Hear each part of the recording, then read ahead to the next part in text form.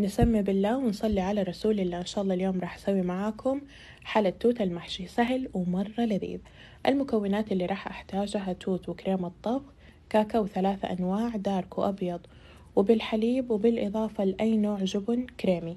أول خطوة راح نذوب الكاكاو مع نص كمية الكريمة اللي موجودة عندنا في الميكرويف. بعد ما يذوب راح نضيف باقي الكريمة والجبن الكريمي ونقلبهم كويس لين يعطينا قوام كريمي ثقيل. الخطوة اللي بعد كده حنذوب الكاكاو. أنا استخدمت الكاكاو البلجيكي وتحت راح تلقوني كاتبة لكم البدائل.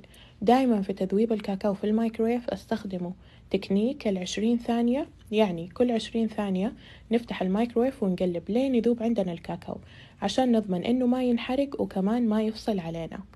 حنبدأ نحشي حبات التوت بالكريمة البيضة اللي إحنا جهزناها وتكون باردة.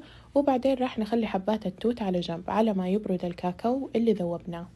بعد ما يبرد الكاكاو شوية وتصير درجة حرارته في حرارة الغرفة راح نبدأ نغطس حبات التوت فيه ونحطهم على ورق زبدة. آخر خطوة راح نخلي الكاكاو في الثلاجة لين يبرد تماما وبعدين نقدمها وعليكم بألف ألف عافية. من أروع وأخف الحلويات اللي سويتها واللي حتكرروها في كل جمعة